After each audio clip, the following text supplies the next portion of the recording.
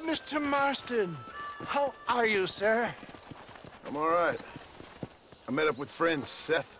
Oh, Seth of the... D- yes, Indra fellow. Need many the moral fortitude to cut straight to the chase like that, do you? Thankfully not, Mr. West Dickens. yes, uh, contemporary society harsh on general exhumers, but in ancient Egypt, it was an arm valued more highly than literature. I believe Seth comes from that school of thought. Very interesting. Look, you thought him... Ah, your dear boy, your plan. I am merely the help, uh, not mercifully the arbiter of wisdom. What you are, dear boy, is the man whose life I've saved twice now. A man who sells lies and deceit to unwitting people. A man who, if he doesn't help me, I won't think twice about putting a bullet through his skull, feeding to the vultures myself. Ah, you see, Mr. Marston, you have the exterior of a violent man, but the soul of an angel, and that is what I think I cherish most about you. That's what I thought.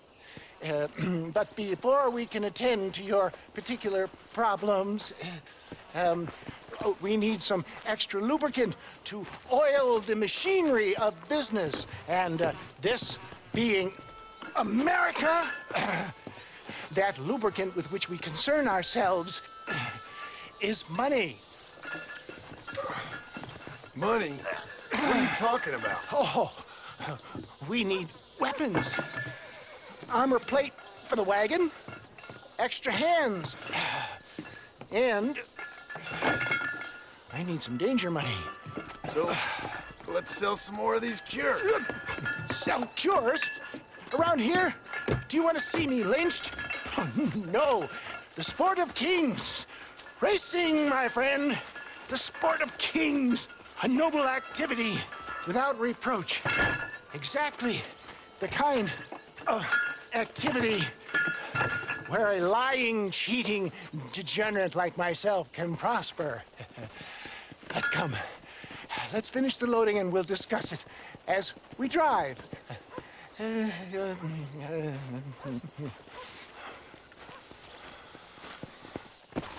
Now, sir, tooth gap, tooth breach.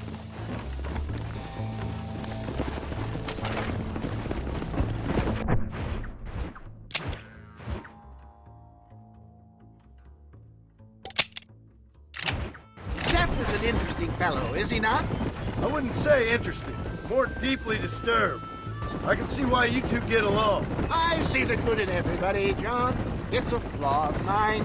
I have a soft spot for life's flotsam and jetsam. Connection with him more like. You and Seth have a lot in common.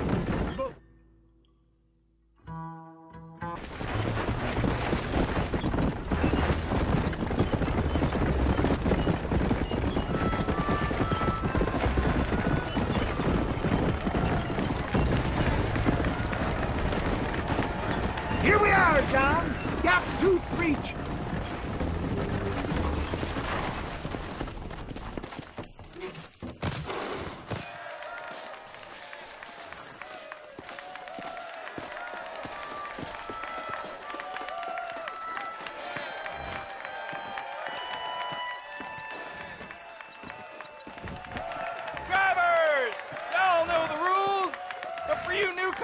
Here's a fair race.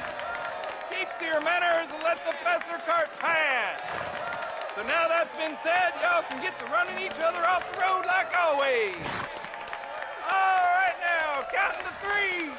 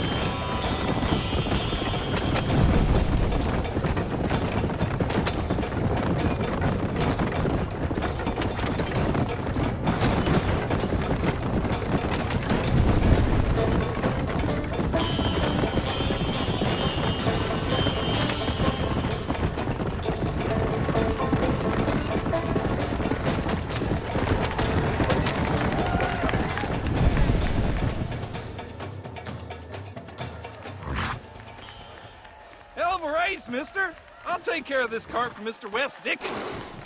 Come on, John. I suggest we beat a hasty retreat.